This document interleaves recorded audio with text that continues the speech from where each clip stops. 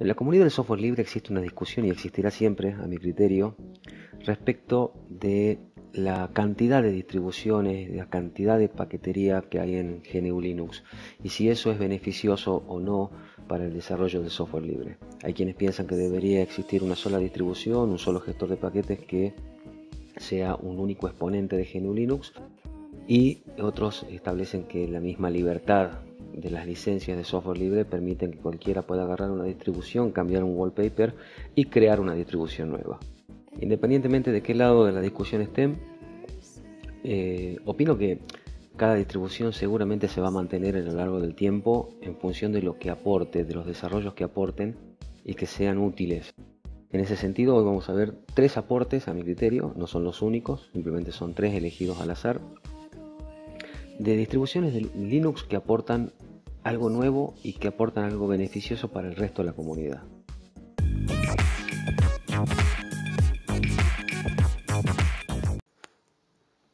Con nosotros OpenSUSE. OpenSUSE, esta distribución bastante antigua, una de las más antiguas en la actualidad de GNU Linux, una distribución que no está ranqueada como debería, debido a que hoy por hoy, no sé por qué, pero el 90% de todas las distribuciones están basadas en Debian o en Arch. Y OpenSUSE es una magnífica distribución que tiene una empresa alemana muy, muy seria por detrás y que eh, la verdad eh, siempre ha desarrollado un producto de una altísima calidad. Concretamente, ¿qué es el aporte que hace OpenSUSE al mundo GNU Linux, que me parece una maravilla? Nada más y nada menos que Just. Just es un centro de control, un panel de control, pero un panel de control sumamente profundo, con una interfaz gráfica para que aquellos que no tienen tanta experiencia lo puedan configurar el sistema a fondo, eh, pero sin, eh, digamos, descuidar la potencia. Con Just podemos configurar las actualizaciones del sistema, los repositorios del sistema, información del hardware, configurar la impresora, un, dispositivo como un escáner, em, absolutamente todo lo que tenga que ver con el sistema en sí, el kernel, el lenguaje del sistema, particionar discos. Eh, es decir, esto es como una navaja suiza donde uno tiene todas las herramientas en una sola pantalla, por decirlo de alguna manera, en una sola pieza de software que es completísima y poderosísima. Eh, muchos dirán, bueno, todo, yo en Debian lo hago con la consola. Sí, es cierto. Pero el que recién llega al mundo de GNU Linux, que por ahí eh, viendo un tutorial o viendo un artículo en internet, escucha que tiene que actualizar el kernel y por ahí a lo mejor no se anima a hacerlo desde la consola y está bien. Eh, hay algo que no me, no me gusta por ahí de algunos miembros de la comunidad es que son muy snob. Es decir, creen que manejando la consola o manejándolo todo desde la consola nos hace diferentes, nos hace superiores. Y no es así. La consola es una herramienta más que se usaría seguramente eh, eh, mucho más en aquel que administra un servidor, porque en el servidor nosotros no necesitamos una interfaz gráfica. Pero una computadora de escritorio o un centro de trabajo, no, no, no podemos pedirle que sepan usar la consola. Con lo cual, este tipo de herramientas como Just son extremadamente útiles. Just es una herramienta que tiene, creo yo, más de 12 o 13 años y, sigue estando y sigue viniendo y sigue vigente. Eh, y por algo ha de ser, sin duda alguna. Como pueden ver, todas las opciones de configuración que tiene la hacen una verdadera navaja suiza del mundo del software libre. Pasemos al que sigue. Elementary OS es una distribución que a mi juicio, si no es la más bonita del mundo GNU Linux, está muy cerca de serlo. Posiblemente con Deepin OS y bueno, con las últimas versiones de KDE, Plasma 5 y Genome, eh, seguramente está ahí entre las tres primeras. Pero es una distribución con un cuidado estético muy alto, una distribución muy, muy eh, finamente acabada desde lo visual. ¿Y qué, qué es lo que aportaron los chicos de Elementary? Los chicos de Elementary no se limitaron a agarrar una versión de Ubuntu y configurarla con los programas que ellos a su juicio consideraban necesario empaquetar en la distribución. Ellos fueron de a poco desarrollando su propio lenguaje de programación, que es Bala, y en función de Bala crearon Pantheon. Pantheon me parece que es uno de los eh, aportes de Elementary al mundo de GNU Linux más importantes.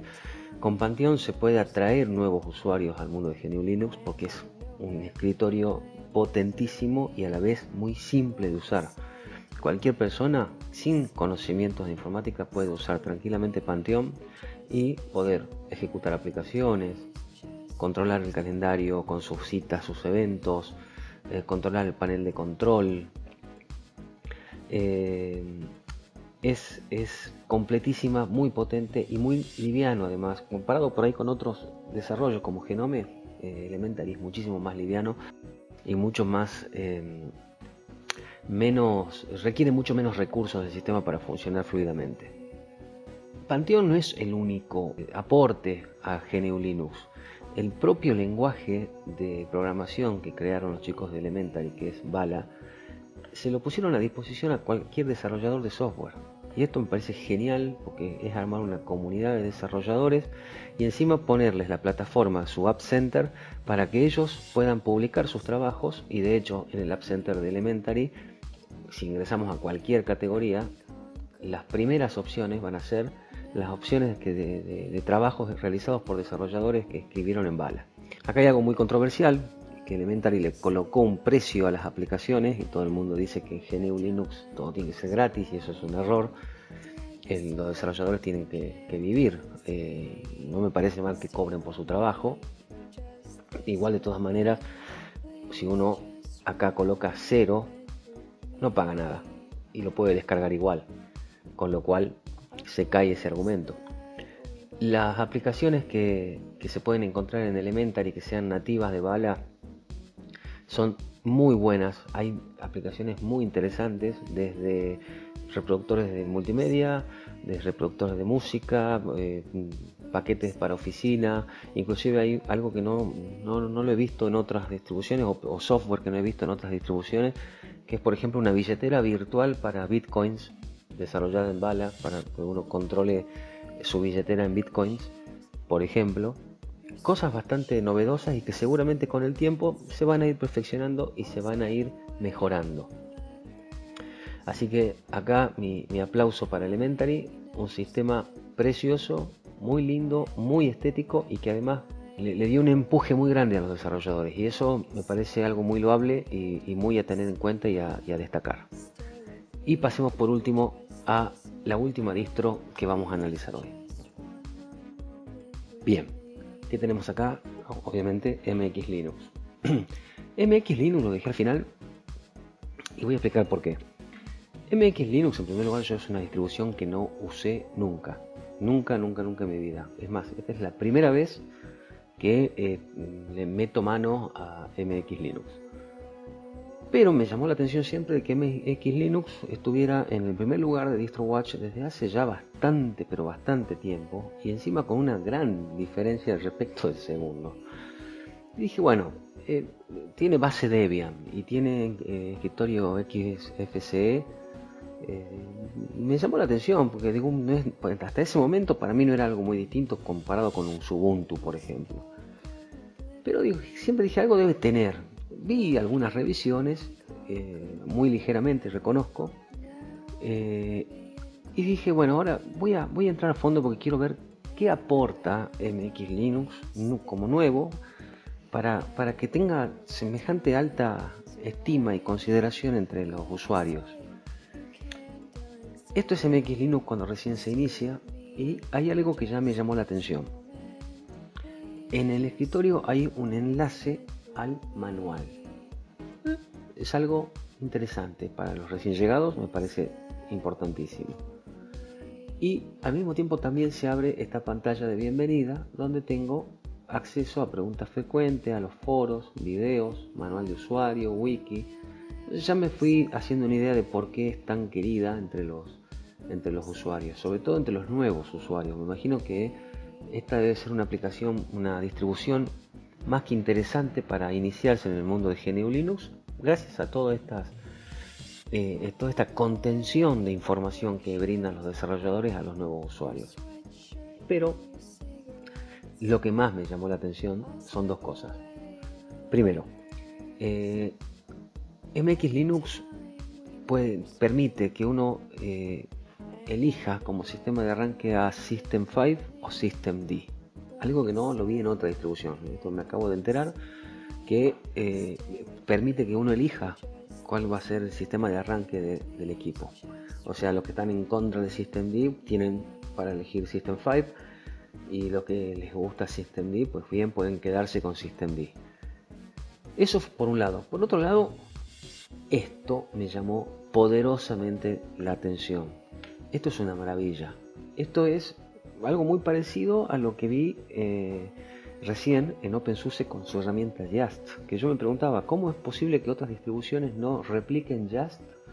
Eh, no hagan un fork de Just y esto me parece que es se inspiraron en Just definitivamente porque es muy parecida, obviamente no es un fork de, de Just, pero es una esta es una pantalla donde agrupa distintas aplicaciones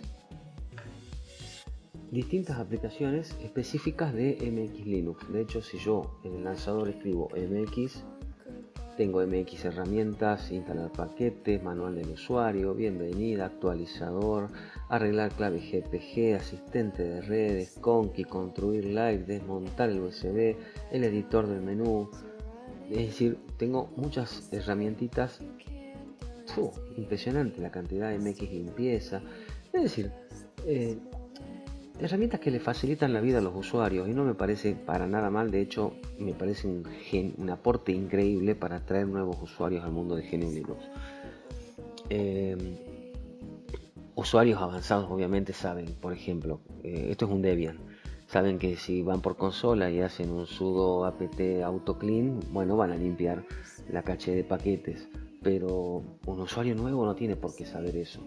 Y acá está el gestor de limpieza, cleanup, y, está buenísimo porque se lo hace, se lo, se lo presenta en forma sencilla a los nuevos usuarios. Información del sistema, eh, instalador de paquetes, em, manager de repositorios, para configurar teclado, brillo, redes, eh, para instalar los, los, los, codecs, los, perdón, los, drivers de NVIDIA, para tunear el panel, por ejemplo. A ver, es una herramienta que agrupa en una sola todas las, opciones de configuración del sistema, independientemente de el panel de control que tiene XFCE, que es este.